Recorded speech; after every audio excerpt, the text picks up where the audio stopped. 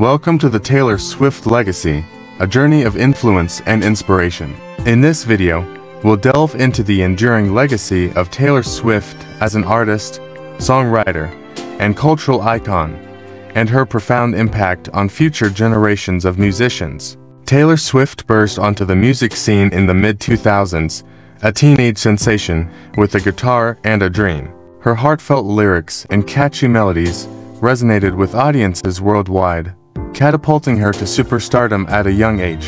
At the heart of Taylor Swift's legacy lies her unparalleled songwriting ability. With a pen in hand and emotions laid bare, she crafted songs that spoke to the universal experiences of love, heartbreak, and self-discovery. As Taylor Swift's star continued to rise, so, too did her influence on pop culture.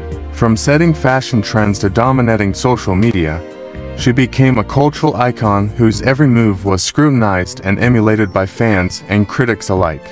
Throughout her career, Taylor Swift has defied expectations and reinvented herself time and again.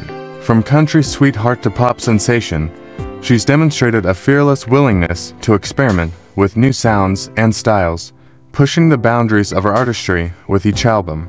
Beyond the music, Taylor Swift has used her platform to advocate for causes close to her heart. From championing LGBTQ rights to speaking out against injustice, she's shown a commitment to making a difference in the world and inspiring others to do the same.